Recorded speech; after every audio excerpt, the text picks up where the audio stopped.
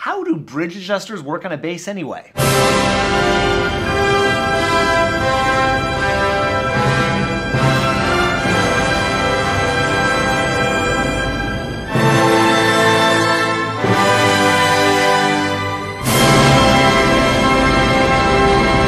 Going on? It's Jason Heath, and I get a lot of questions about what these things are on my bass anyway. Well, they are bridge adjusters, and they are made of many materials. Mine happen to be this plastic. I used to have aluminum bridge adjusters, you'll see wood bridge adjusters, but they are on your bass for a specific reason, and that is to adjust your bridge. There are a lot of ways you can screw things up with bridge adjusters, so in this video, we're going to take a look at how they work, why we need them, and how to dial them in to get your best possible setup.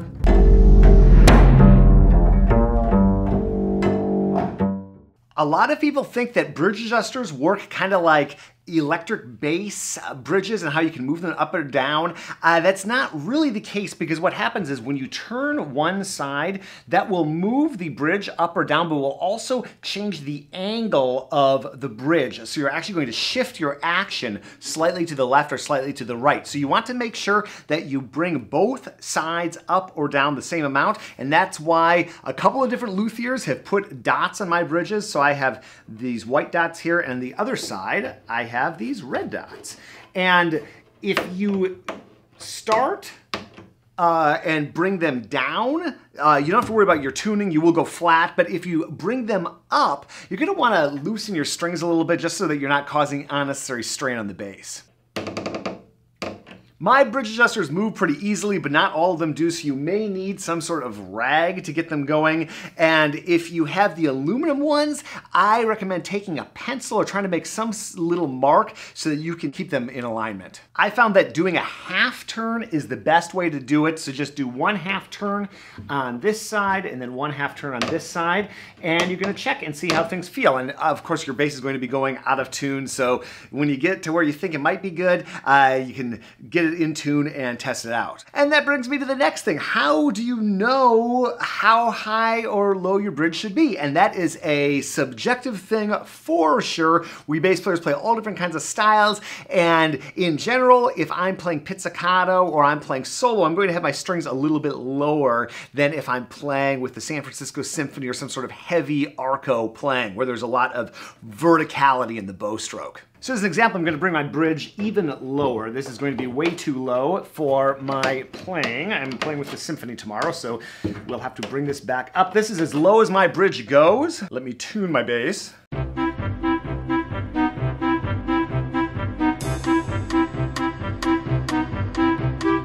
You also want to keep an eye on your bridge angle uh, and make sure that it's staying 90 degrees to the body. That can uh, shift around a little bit if you're really making radical changes and tightening and loosening your strings. Just something to be uh, cognizant of. Okay, so this height is actually awesome for pizzicato. If I was gonna go play a jazz gig, which I never do, uh, I would use this height. This is also a nice height for solo playing. And this is again a height that if I was playing a recital, that would be awesome for. And that's one of the benefits of having bridge adjusters. You can make those kind of adjustments because our instrument is so big, it changes a lot with temperature and setup needs differ depending on the type of playing we're doing. This is not great for symphonic playing for me though because you're getting that horrific sound. That is called bottoming out, and all that means is that the string is slapping against the fingerboard. Now, that can happen if your bow technique needs a little bit of dialing in. If you are angled way over uh, towards the C bout here or this way, the string can actually vibrate and whack into the fingerboard. There's probably a whole setup video that we could do on that. Let me know in the comments if you want to see something like that. Okay, so definitely too low and on the G string side too low. Now what I don't want to do is crank this up and then leave these all the same because that's going to put undue strain. It's going to actually move my strings over and everything that my luthier has done to meticulously sculpt this so that the strings feel good in the left hand and they don't bottom out when it's at the right height. That's all going out the window and you're possibly causing some other problems as well. So I'm going to bring these up now by a half a turn and before before I do that, I'm going to just detune my bass a little bit. Doesn't have to be crazy. And we're just gonna bring them up.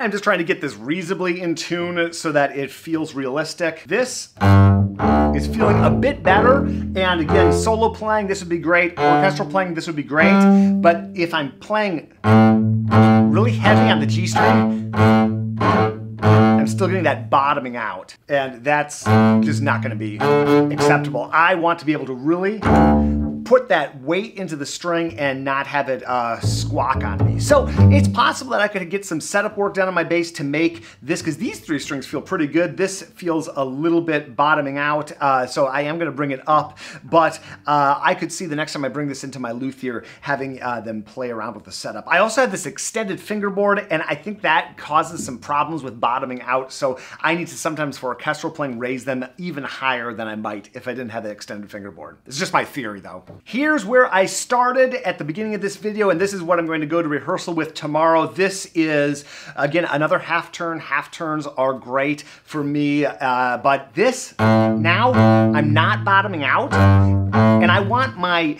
action to be as low as possible without bottoming out. That's my general rule of thumb for the type of playing I'm doing. Now I'm not bottoming out. Now, if I'm a little bit sloppy with my bowing, I can I can get it to buzz. Even the most perfect setup, you can probably get it to buzz if you try hard enough, but I'm not gonna play like a pig like that. This is about the most bow weight I'm gonna use. And it's not bowing on the G string, and in a good setup generally, if it's not bowing on the G string, it's not gonna bow on the other strings as well.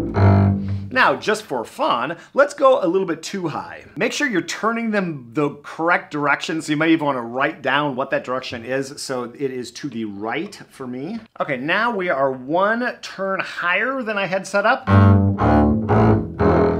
Feels great if I'm not playing closed notes and it feels okay, but I'm already starting to feel like I'm having to work a little too hard in the left hand. And that's what setup is. It is this delicate balance between the needs of the right hand and the needs of the left hand. For this, I could go and play this in a rehearsal, and that's fine, but I can feel that I'm gonna get tired this way. And sometimes you're not gonna know until you live with a setup for a little while. That's the beauty of bridge adjusters is that you can make these tweaks, and as the weather changes, it's just very easy to adjust to get it dialed into what you need. So this is too um. high, and I know if I keep cranking it up, it's gonna get ridiculous. So I'm gonna bring it back down to the white dots on the other side of the bridge and make sure I turn the right way. I just turned the wrong way. so I like to line these up. These are not the prettiest dots I've ever seen in my life, but they will work and just making some kind of mark before you start poking around down there, that's a smart move. That's a bit about bridge adjusters. Thanks for watching and check out what we've got linked up.